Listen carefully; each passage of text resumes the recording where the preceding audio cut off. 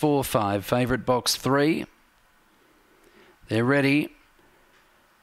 Racing, flying out, try catch Tanya is bursting across to lead from Vegas Fun. Duramax Deep goes forward in a rush, falling badly. There was Blue Glitter, fourth Crocodile Senor, then Breaker Upper and Ebby Bray, but try catch Tanya's dashed clear. Four on Vegas Fun running on strongly, and then came Duramax, but it's try catch Tanya. Try catch Tanya beat Vegas Fun, third Crocodile Senor, just out bobbing Duramax, and then Ebby Bray, Breaker Upper, poor old Rusty, and great to see Blue Glitter charge into the pen. She wasn't even that far behind them.